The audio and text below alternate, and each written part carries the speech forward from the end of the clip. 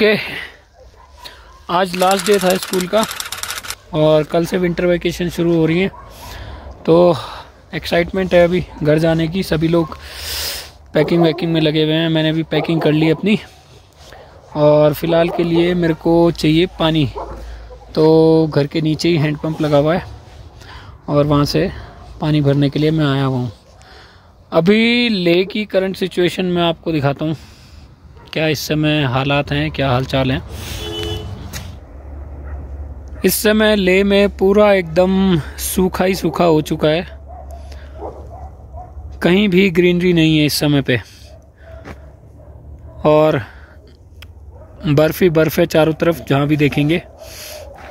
ऊपर माउंटेन्स पूरा बर्फ़ से उधर ढके हुए हैं। इधर भी पूरा सूख गया है। मैं थोड़ा नीचे आया हुआ हूँ।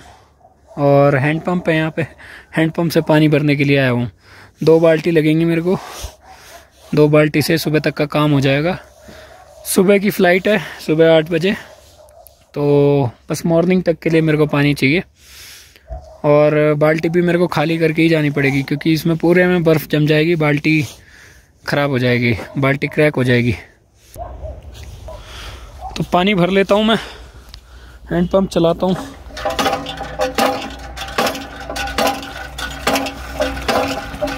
और ये पानी आ रहा है यहाँ पे।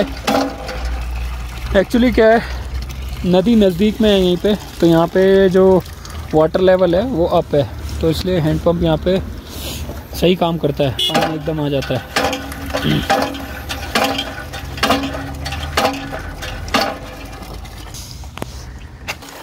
दूसरी बाल्टी भी भर लेता हूँ मैं।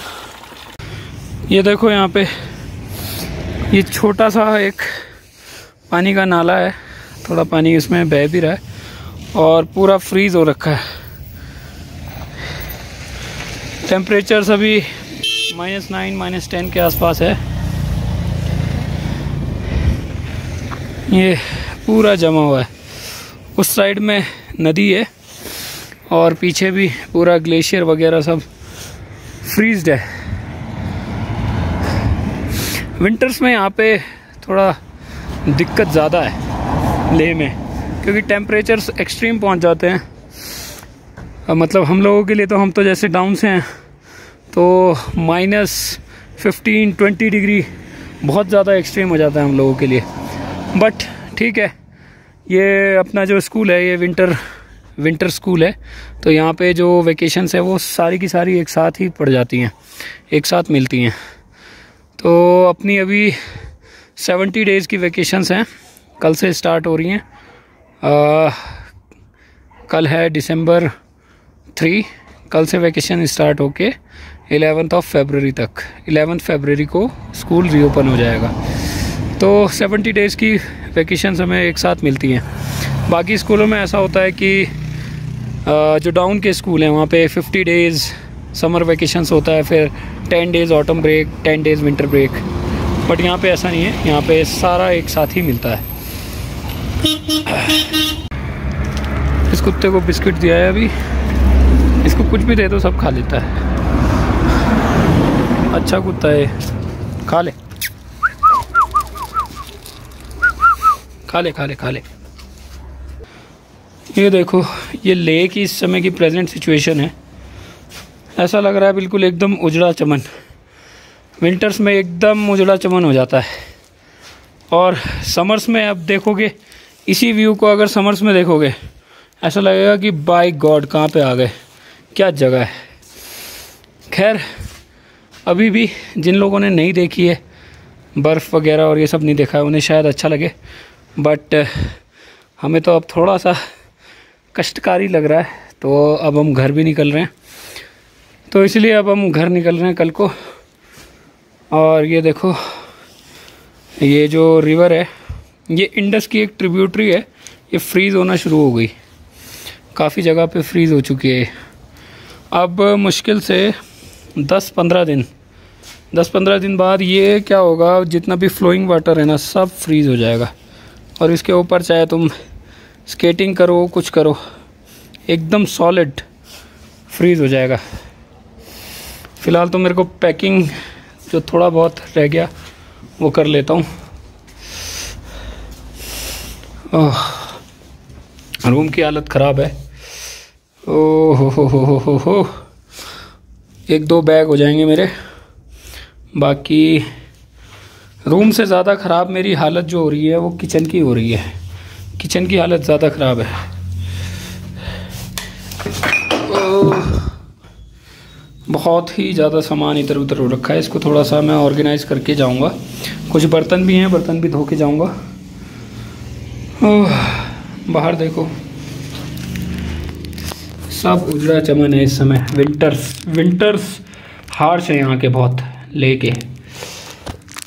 वो उधर सामने पीछे दिख रहा है, वो खारदुंगला है। वो उधर पीछे वहाँ पे दैट इज़ खारदुंगला।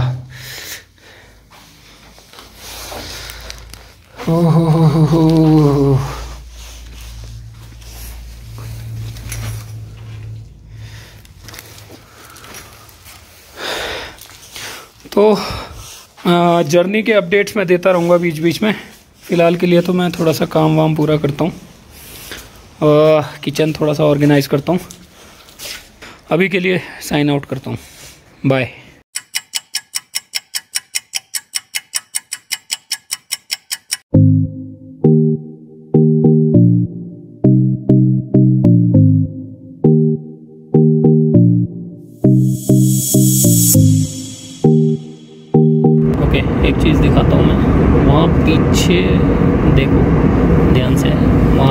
लेक है these are called mountain lakes अच्छी खासी बड़ी लेक है। आई uh, थिंक एक है या दो हैं। एक छोटी एक बड़ी है या फिर वो कंबाइंड एक ही है। इफ़ यू कैन स्पॉट इस तरह से यहाँ पे माउंटेन लेक्स होती हैं। और बड़ी बड़ी लेक्स हैं। पेंगोंग भी इस तरह से है और समरेरी बहुत लार्ज मैग्नीट्यूड की लेक्स हैं यहाँ पे।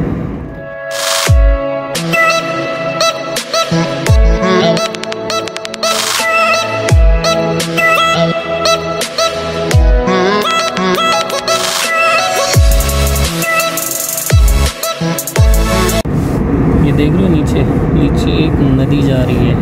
कहीं से ग्लेशियर है, ग्लेशियर से आ रही है ये नदी।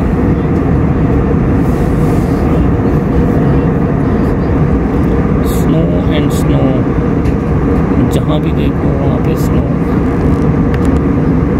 सबसे बेस्ट और एक्साइटिंग जो चीज़ लगती है वो मेरे को यही लगता है ये लैंडस्केप मतलब ये कहीं और देखने को नहीं मिलेगा डोमेस्टिक इंडिया में कहीं भी ट्रैवल करोगे तुम दिल्ली, बेंगलोर, मुंबई, अहमदाबाद एक्सेट्रा एक्सेट्रा कहीं पे इस तरह के का टेरेन देखने को नहीं मिलेगा। दिस इज़ एब्सोल्युटली यूनिक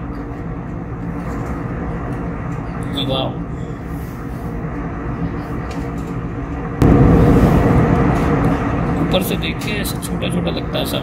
ऐसा लगता है जैसे एक पैर यहाँ पे रखो, दूसरा पैर वहाँ, तीसरा पैर वहाँ, और क्रॉस कर जाओ